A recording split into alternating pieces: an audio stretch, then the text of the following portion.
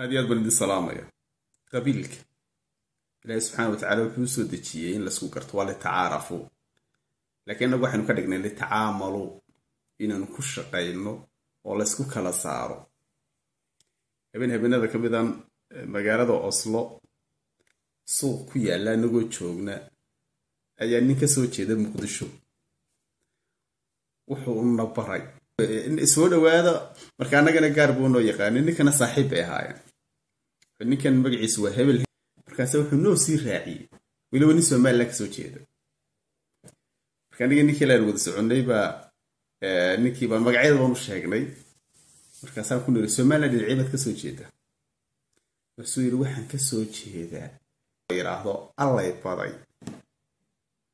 Markaasa inta hal mar baa niga ninkii kala wada socona waxaan ku niri waa ninkan waa nin cabdallah bokora. Waxaa kala duwan oo keen dhex qaldamay qabiilku waa litacaarafu. Laakiin litacaamulu baynu ka dhignay. Inaynu ku shaqaysanno oo dadku isku kala soocaan. Inaad dadkaaga barato magacyadooda iyo dadka inaad baragto iyo dadku deegaanada degaan inaad barato waa aqoon dhan oo la barto. Waa cilmi dhan oo la barto. Laakiin in laysku kala soocsooco oo qofku dadka ku kala dhaweysto oo qofku dadka ku kala fogfogeeyo ku kala socsooco kanaa ku xigayo kanaaoo mar intii yaroon qofku urursado uuna ay isku dee haayeenuun laanta yaroon isku ahaayeen hadduu qofku urursado qofku cidluu fadhiisanaya.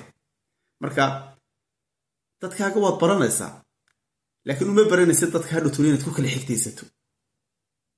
Dadkaaga waad waxa weeyaan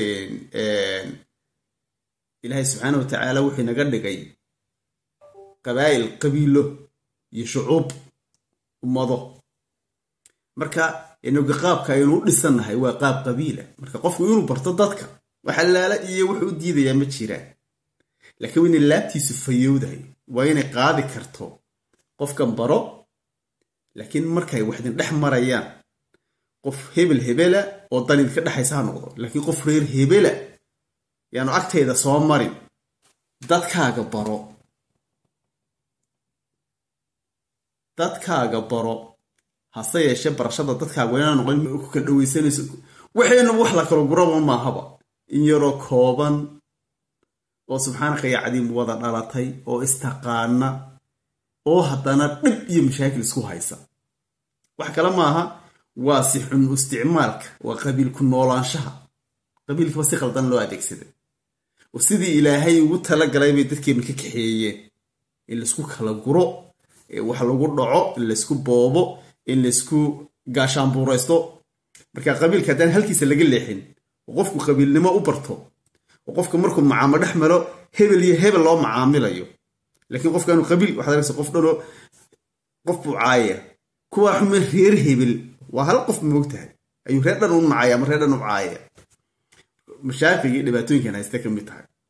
Marka qofku dadkiisa wuu baran karaa laakiin waxay qofkaasi ay guuldarra u soo hoyanaysaa markuu dadkiisa uu ku kala saaro kala dhaweysto saam dee ku kala saaro sidaa waqtigu heersaraa idin haado cabshigi muxuusan ku dhaafaya assalaamu calaykum waraxmatullahi wabarakaatu